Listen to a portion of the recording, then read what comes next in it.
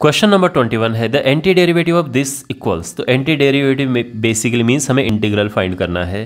तो root x plus one upon root x d x तो ये हमें इंटीग्रेट करना है। तो क्या करेंगे हम? सबसे पहले ऑफ़ कोर्स पावर को इस तरह से लिखेंगे। और ये ऊपर जाएगा तो इसकी पावर इस तरह से हो जाएगी माइनस हाफ़ अब इसे हम इंटीग्रेट करेंगे तो हम क्या करते हैं? पावर में वन प्लस कर देते हैं और वही चीज़ नीचे आ जाती है। यही यहाँ पर करेंगे। पावर में वन प्लस करेंगे और यही जो पावर है, सारी वो नीचे आ जाएगी। एंड ऑफ़ कोर्स इसमें सी हम ऐड कर देंगे।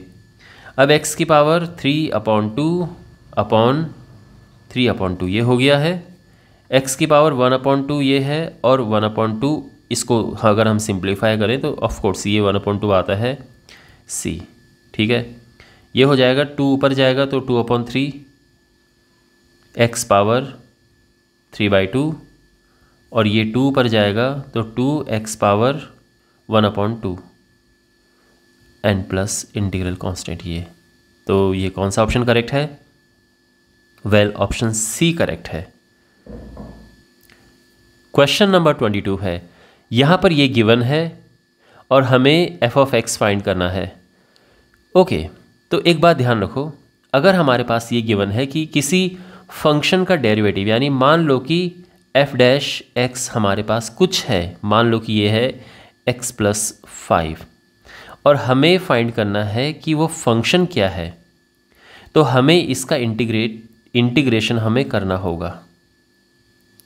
या अगर हम दूसरी फॉर्म में ये कहें कि अगर हमारे पास d अपॉन डी एक्स है, यानी किसी फ़ंक्शन का डेरिवेटिव है, और हमें वो फ़ंक्शन निकालना है तो हमें क्या करना पड़ेगा? देखो एक्स तो उधर चला जाएगा।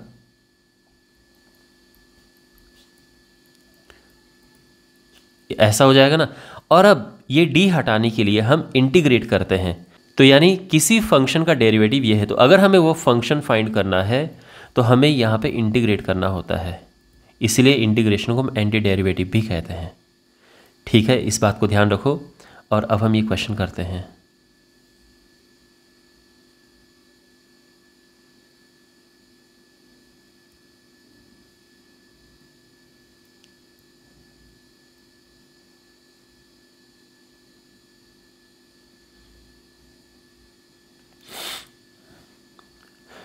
और राइट तो यहाँ पर गिवन है d upon d x f of x four x cube minus three upon x power four ये जो चीज़ है इसका भी यूज़ हम बाद में करेंगे। ये सी निकालने का काम आएगा, जो सी आता है ना इंटीग्रल कांस्टेंट ओके तो सिंपली यहाँ पर अगर हम ये लिखें तो ये हो जाएगा फोर एक्स क्यूब इसको ऊपर लिख के आ जाते हैं। इंटीग्रेशन करने में आसानी रहेगी। डी एक्स और अब ये डी हटाएँगे हम यहाँ से। तो ये इंटीग्रेशन का साइन लग जाता है। ये है, यहाँ तक क्लियर है, ये इंपॉर्टेंट पार्ट था, आगे तो आसान है। अब ये जो है, हम ऊपर वन प्लस करते हैं और नीचे यही पावर फोर नीचे आ जाती है। आई एम श्योर आपको अभी अभी तक तो ये पता चली गया होगा।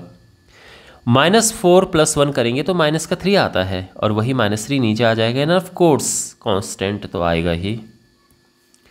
फोर से फोर कटा माइनस थ्री से माइनस थ्री कटा और हमारे पास आएगा ये इसको अगर हम नीचे लिख के आ जाएँ तो ये हो जाएगा। और अभी तक की कहानी ये है तो अभी तक सब समझ आ गया? और अब जो इसमें एडिशनल इन्फॉर्मेशन गिवन है ये ये सी ही निकालने में हेल्प करेगी हमारी। तो देखो एक्स की जगह पे टू पुट करते हैं तो एफ़ ऑफ़ टू हो जाएगा।